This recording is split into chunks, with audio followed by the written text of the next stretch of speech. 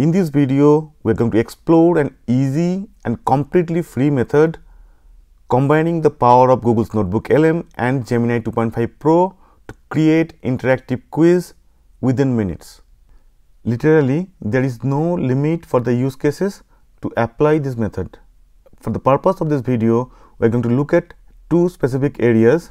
First one, generating quiz for academics and the second one, to generate quiz based on the content you might have already published, let's say a YouTube video, to enhance your audience engagement.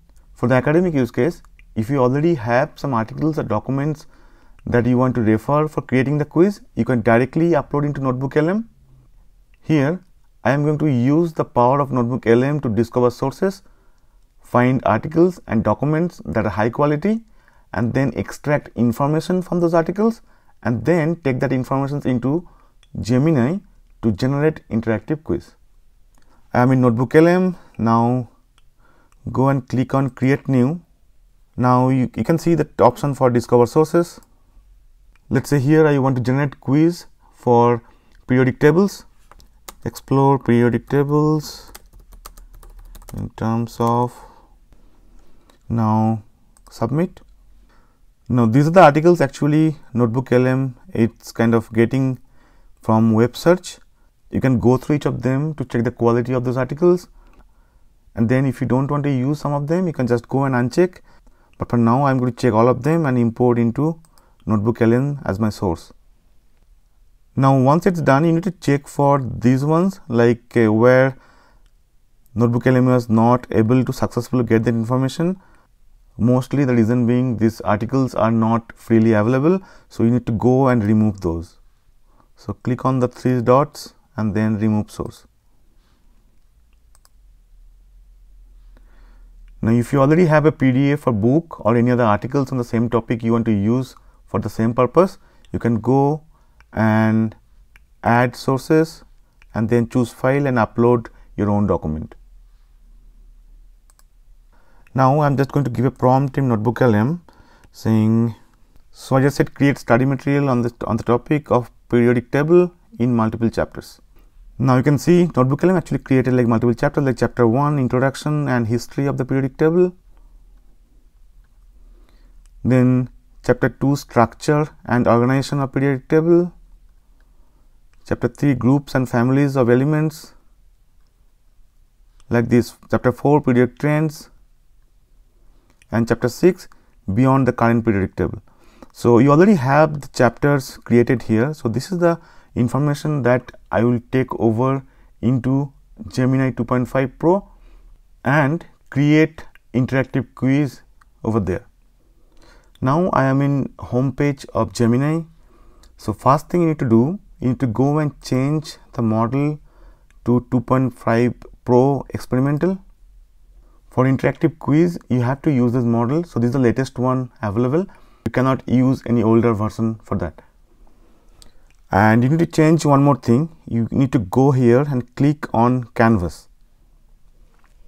Now what i'm going to do i will take the information that i already collected in notebook lm and write a prompt here in gemini to create the interactive quiz. So now i'm going to copy the information i already collected in notebook lm let's say i just copy for chapter 1 and chapter 2 chapter 1 and chapter 2 provide this information into Gemini and ask to create an interactive quiz based on this information. So, if you look at the prompt it is very simple and straightforward generate interactive quiz based on the information provided below group quizzes by chapters information and then I am providing the information of chapter 1 and chapter 2 I copied from notebook LM. Now click submit now you can see that canvas is already opened and you have a section here for code. So, currently the code is in progress and then you have a section for preview. Now, as you can see the preview of the quiz is already generated. So, now you can see the chapter 1 is introduction in history and you have quizzes here with the button with four options for each question and you have the buttons to select here. Let us say I just randomly selecting some of the answers I am not going through the questions. If I click on that then number 2 number 3 number 4 now you get an option to submit chapter 1 answers. And it says incorrect. The correct answer was C. Incorrect was B. Incorrect. And the first one was correct. It actually shows you like uh, which of the questions you answered correctly. And if your answer was incorrect then it provide the correct answer also. Chapter 1 quiz complete your score is 1 out of 4 now for chapter 2 again you get these questions. Just go and click on this. Submit chapter 2 answers. Again the same thing. Please answer all the questions before submitting. I missed the number 3 so this one here. Chapter quiz complete your score is 2 out of 4 for second chapter. As you can see it's very easy and you can quickly within a few minutes generate interactive quiz using gemini without any coding. Once you are done with the quiz you can actually share this link to the canvas with others to participate in the quiz. Let's say if I go here share canvas you click on that and then you copy the link. And then you can share the link with others to take participate in the quiz.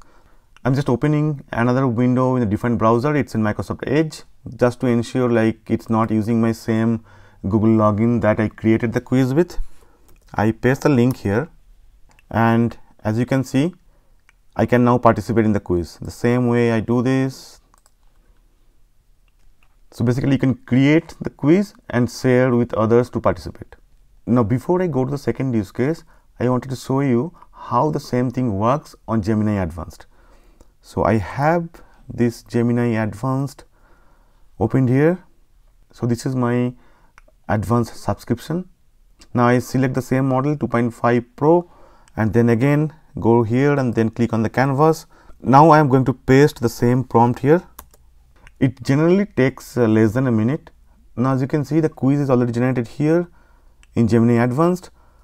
As per my observation, you tend to get more number of questions when using Gemini Advanced, but I was able to increase the number of questions even in the free plan by tweaking the prompt a little bit. I actually found for other use cases sometimes the Gemini advanced even using the same model give a different result and mostly it's a better result than the free version and I actually was investigating the same thing using Gemini with a prompt asking like why there's a difference uh, in the result and that's what actually I got it from Gemini. Prioritized resources Gemini advanced subscribers almost certainly get higher priority access to computational resources optimized configuration, the backend configuration and fine tuning of that 2.0 Pro model might be different and optimized for higher quality on the advanced tier compared to the free tier. Experimental variability, how an experimental model is deployed and managed might differ between the free and paid tiers. So, that is something to remember, but at least for the interactive quiz use case, I found response is very much similar using the same prompt you can get similar responses for both. So, I think you can safely continue using the free user for this particular use case. Now, going to the second use case, I am going to use one of my video I published earlier for this purpose. Now, create new and go and click here on the YouTube video and add this link there, insert, extract key information.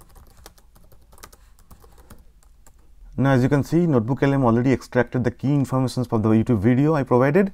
Now, what I will do I will do the same thing copy this and then go back to Gemini 2.5 let me close this canvas and open a new chat same model canvas generate an interactive quiz based on the information provided below.